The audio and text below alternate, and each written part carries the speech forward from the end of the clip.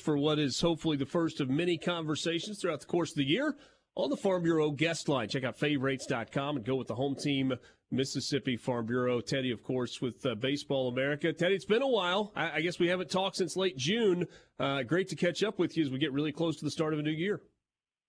Yeah, absolutely. It's uh, it's coming real fast now.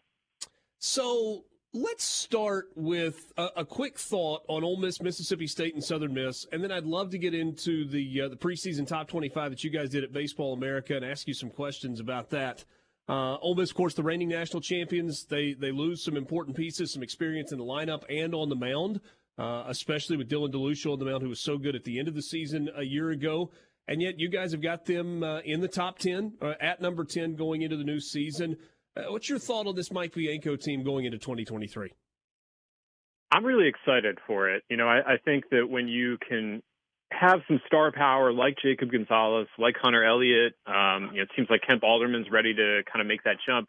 I, I think there's uh, there's a lot to like about this team. I think the newcomers look really good. I think the offense has a lot of potential. They're going to have to figure some things out out on on the mound. Of course, they had to do that last year, and maybe it took them longer than uh, than they would have liked.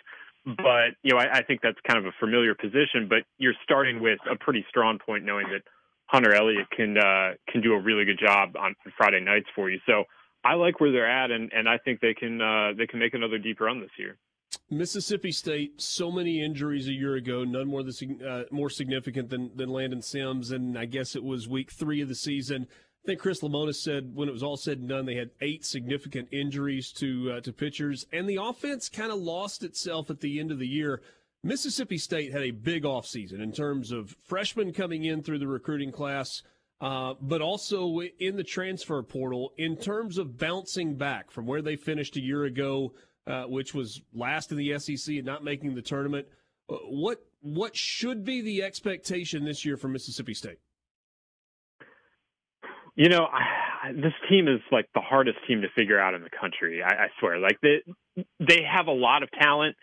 Um, you know, you can look at it and be very optimistic. You can look and see what A and M, what Auburn did a year ago, and know that worst to first is uh, you know is, is possible with transfer portal additions. And you can look and you can see some really nice things, especially offensively. You know, Hunter Hines is coming back, having hit 16 home runs.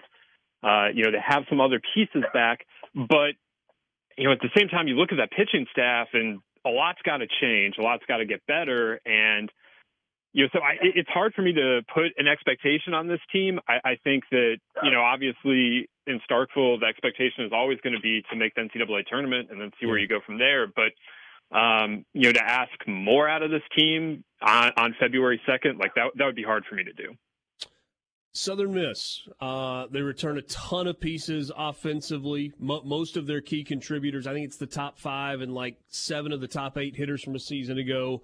They've got a preseason All American uh, on the mound. Uh, they lose Hurston Waldrep to Florida, who is also a preseason All American by uh, by most accounts. Is this another year where you look for Scott Berry's team to be very much in the mix to uh, to potentially host? I do. I, I think this team has a, a lot of potential. It's a, it's a really old lineup. Uh, like you mentioned, a lot of those guys are back.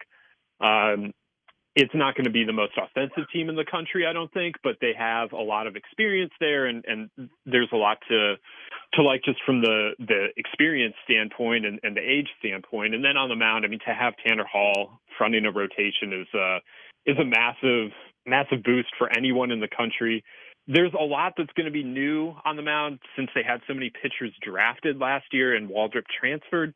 Uh, but you know, if there's one thing that we're coming to expect from uh, from Coach Oz down there is that they're going to pitch, and I trust him to to find the right pieces and, and put them around Tanner Hall. And again, if you're building with that that is your your base, that you have this all American ace, you know that that's just a, a great spot to start with if you are starting to reset on the mound. That is a, uh, a pretty good cornerstone. Visiting with Teddy Cahill from Baseball America on the Farm Bureau guest line. So let's talk about your preseason top 25. Of course, at Baseball America, you can check that out at baseballamerica.com. I, I feel like you guys, in addition to everybody else that does a poll, has LSU 1, Tennessee 2. And it's it's interesting to me because I look at these two teams and I go, I agree that LSU is loaded offensively. and they were spectacular in the transfer portal and spectacular from a recruiting standpoint. But I've still got questions on the mound. And with Tennessee, I have zero questions on the mound. They've got more start, starters than they've got spots in the rotation. And yet, that offense that was so good a year ago is missing a bunch of pieces. Why is it LSU 1, Tennessee 2, and, and not vice versa? Well, I think that a lot of it stems from what you can see with LSU, uh, you know, what they're trying to do. If you if if the mound is your question mark and you bring in a literal Major League Baseball pitching coach, and then you add uh, an All American in Paul Skenes and mm-hmm. a guy in Thatcher Hurd that was a top 100 draft prospect coming out of high school, not not top 100 as a high school player, just top 100 period. Um, and then you get Ty Floyd back, who has a ton of potential. Um, you know, all of that points to really good things on the mound. I can point to some good things about Tennessee offensively. You know, Griffin Merritt was the American Conference Player of the Year a season ago. He transfers in. I really trust that the Tennessee player development is going to work with some of these younger players. Uh, but I, I think some of it is just that the offense at LSU, I, I, think it's more than good enough to carry the pitching staff, and I, I do like the additions that they made on the mound, maybe more than I like the additions that Tennessee made offensively. But that said, again, like I really trust the player development at Tennessee. Like I think their offense is still going to be really good.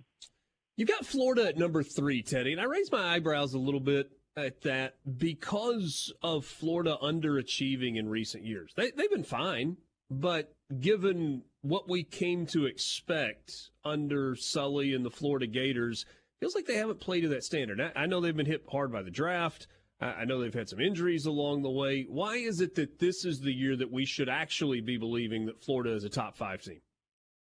You know, I, I honestly don't even think that it is. Like okay. 2021, when they uh, were number one in the country and returned everyone from a team that like was the best team in the country when when the season ended like that was the team we were supposed to believe in so like if, if you were supposed to pick a team in the last you know since they went to omaha last in 18 that was the team to believe in it's that team now this team i like you know like i don't I, I it, it's hard. I, that that question is really hard for me. Um, but I think that just on the base of talent, uh, you know, we mentioned Hurston Waldrep already. He's at Florida. He joins forces with Brandon Sproat, who goes unsigned as a third rounder a year ago. So you have potentially one of the best one two punches in the country. And I do think that's one thing that's been missing since Brady Singer and Jackson Kowar went on to Pro Ball after 2018, that they haven't had a one two punch like that they have the potential to have this year. And then offensively, they have, you know, if, if Dylan Crews isn't the best hitter in the country, it's Wyatt Langford probably at Florida. Yeah. He had 26 homers a year ago. It's a great piece to build around. They have some nice pieces to to fit around him, but he's the cornerstone. And you know, I don't have a great answer for why Florida hasn't been back to Omaha since 2018. Um, they were on track to make it in 20, uh, but you know, the last couple years, you're right. It's it hasn't been what they were billed to be. Can this year be different? It should be different but you know that that is something that's hanging out over their heads. I, I, I think that's fair. Hey, last thing for you. About a minute and a half left. A year ago, Auburn was kind of the surprise team in the SEC, right? They they they had the College World Series appearance, and then they were awful, and then they bounced back, and they're in the College World Series again.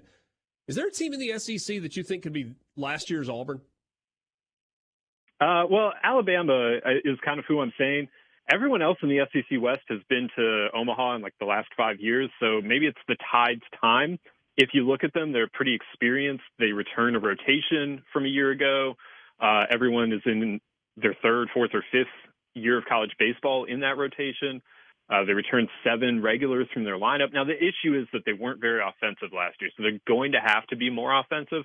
But if they can be a little more offensive, they have the pitching that they they could sneak up on some people. And you know, I know like if you look at some polls, you'll find Alabama ranked, but if you're looking for someone to to sneak up in the SEC, I, I, I think it's them. Teddy, a great first conversation. Look forward to talking more about this season as it gets underway two weeks from tomorrow. Hopefully, the weather will cooperate. We're certainly looking forward to it. Thank you, my friend.